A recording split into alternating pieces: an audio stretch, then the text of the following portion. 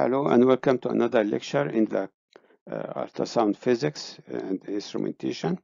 And here we talk about the contrast enhanced harmonics, sometimes called contrast enhanced ultrasonography. To start with, we need to know that to have a contrast medium in the ultrasound is totally different from having an, a contrast medium in CAT scanning or X-ray or MRI or whatever. They are totally different. Okay, contrast medium in the ultrasound are non-radio opaque. We need to memorize this is non-radio opaque because it has different components. What are the compositions of this uh, ultrasound medium? Okay, or contrast medium in the ultrasound. Number one is made of saline solution with loads of microbubbles and these microbubbles each is formed of a shell and some gas inside. Okay uh, this microbubble solution is given IV of course they shake it first and then you give an IV okay to visualize the, uh, the vascular or the cardiovascular or the cardiac chambers. Okay sometimes it's ingested or swallowed. To visualize the uh, stomach contents or some part of the GI tract in the market there are a lot of these microbubble solutions. But all of them they should have the same criteria. What are these criteria of these microbubbles? Number one the size should be of a size of a red blood cell or smaller. Somebody will ask why. Because as we all know that red blood cells are traveling in the capillaries and in the capillaries red blood cells are allowed one by one not a group one by one. Why? Because the size of the capillary or the diameter of the capillary in microns does not allow except one red blood cell at a time. So they go in a row. So imagine now that you have microbubbles are bigger than the red blood cell size. What happens? They will block these capillaries, right? So it's a uh, it's a big uh, bad effect, right? So this first criteria. Second criteria is they should be biochemically safe, metabolically safe. What does it mean? Mean that they are not toxic, they don't have any harm to the body, uh, reactions or uh, bad effect even in the in the in the further future. So they should be completely safe. Third thing, they should stay intact, not biodegradable. Okay, for a while. So why do we have to, we need to this to need to have that because we should have them available in the body recirculate and recirculate and recirculate okay to have enough time to finish the exam because the exam might take some time. So they should be staying long time enough to conclude the exam. Last but not the least uh, they should be as we mentioned they are biodegradable and we should know that the biodegradation products those should be also safe okay so metabolically safe for the material itself and the biodegradation uh, products. Okay what happened now when i'm injecting this material which is the solution with the microbubble contrast medium iv okay? And expose these microbubbles are exposed to the ultrasound.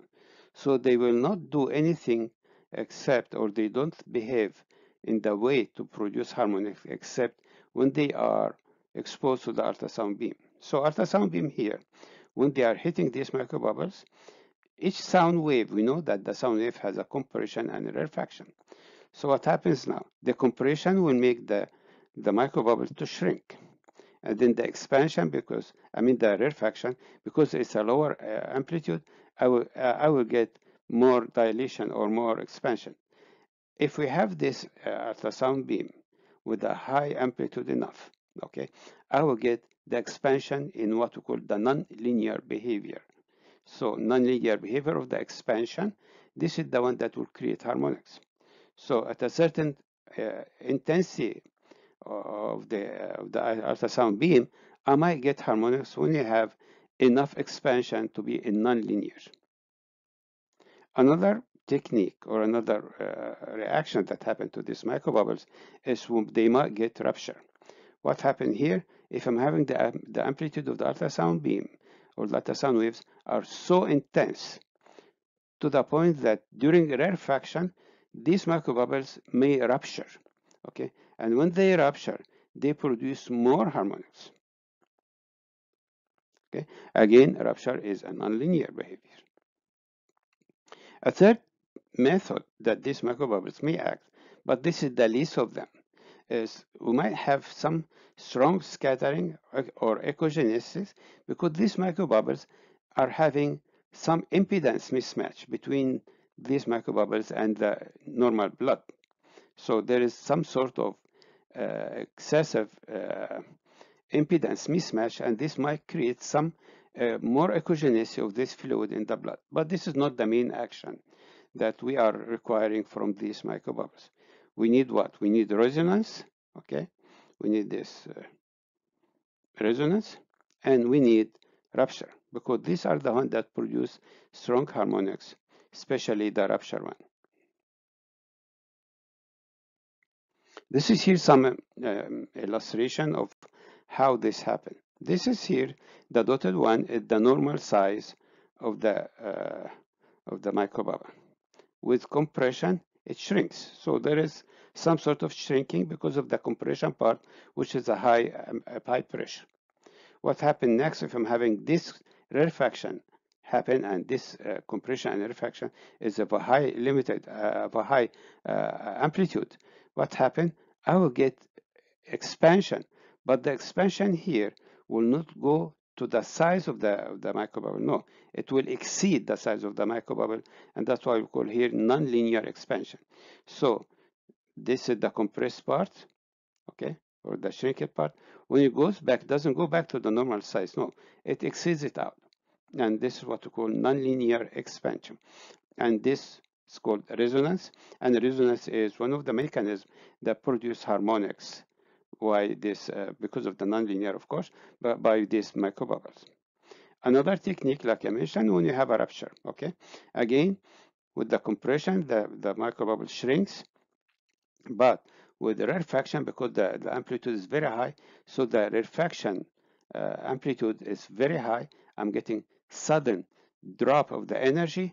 What happened to the microbubble here? It will rupture. So I will not get this microbubble here. It will be completely vanish. And this rupture is a very strong source of harmonics.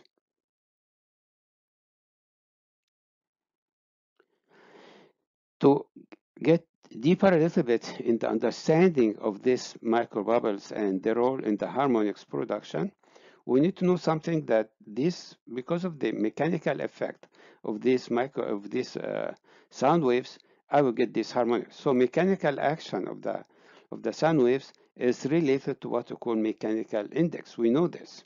Mechanical index is one of the bioeffects measurements that I can use to, to, to be safeguard against harmful bioeffects. So mechanical index here is rating the wave pressure to the linear or the nonlinear behavior of the microbubbles. So at a certain limit or a certain level of uh, uh, mechanical index, I might get sort of harmonics. So what are these measurements of the micro of the mechanical index that will help me to see harmonics or if not to see harmonics? So if I'm having a mechanical index of less than 0.1, again it's a ratio, okay? So if I'm having a mechanical index of 0.1, okay, I will have no harmonics. I might get some uh, scattering effect. You know that they are the size of the red blood cells, right? And blood cells are known of Rayleigh scattering. So I might get here some sort of Rayleigh scattering again, but it's not enough to produce harmonics. So this happens when, when I'm having 0.1 MI, MI 0.1, I will get no harmonics, but I might get some increased uh, scattering. Starting from 0.1 higher up to 1.0, then I will get here the, the second effect, which is the resonance. Resonance is again as a source of harmonics. So I'm getting here starting harmonics when I'm going above 0.1. I'm talking about mechanical index. When I'm having mechanical index more than one, okay, this is the, the level I, when I will get rupture. And rupture is rupture of these microbubbles is associated with strong harmonics. But rupture here, some people claim that if I'm exposing these microbubbles to a lot of rupture, I might deplete them from the from the circulation. So it has some like sorts of we need to judge. Okay, when we reach what the mechanical index to this level, I might go in a in a, in a speedy uh, biodegradation of these microbubbles when I'm having MI uh, more than one. But again, this is a strong source of harmonics. Now we come to the microbubbles and their use in ultrasound fields. Okay, we have some clinical applications or sonography applications of these microbubbles. We have what we call B-mode sonography, and we know this. This is the grayscale. If I'm to, um, if I'm using these microbubbles, what happened? Okay, it might help me to visualize the cardiac chambers in the B mode. Okay, so in the B mode, I can see the cavity of the of the chamber, left ventricle or right ventricle or atria. Okay, I might I might see the the chamber from inside if there's any filling defect or there's uh, uh, some sort of, of uh, septal uh, dyskinesia or whatever. All of this I might get them uh, visualized better by the use of these microbubbles. Uh, I might have also microbubbles help me to visualize the lumen of the vascular system, especially if there is some stenotic or uh, uh, I mean, as a pathology, or sometimes if there is any other pathology uh, that might be associated uh, with the vascular system, arteries, or veins, and the microbubbles here will help me to visualize them better. When you come to the tissues, the soft tissues, also microbubbles are very helpful, especially in applications for the liver pathologies, liver masses. Okay, it's having uh, advanced applications nowadays, and you can see a lot of videos on this on the YouTube.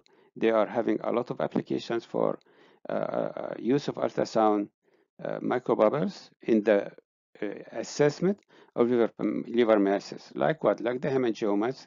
Of course, they will get a lot of uh, uh, harmonics. Uh, focal nodular hyperplasia, FNH, of course. Uh, hepatocellular carcinoma, uh, liver metastasis, all of these contrast harmonics uh, display the areas filled with contrast and not the surrounding structures. And there are phases, which is the filling phase and then the emptying phase. We can see this more details. The second application, when you have Doppler. So Doppler application is, are there uh, getting benefit from the uh, from the microbubbles, or contrast enhanced uh, harmonics? Yes, they are.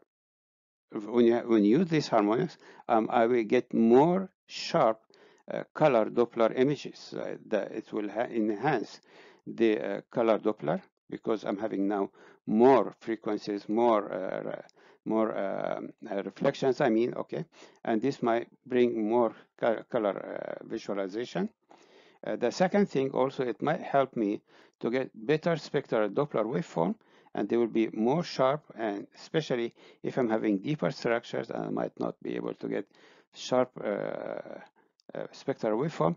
Again, harmonics are very helpful in this uh, issue.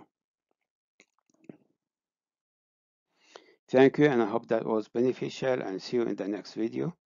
Have a good day everybody.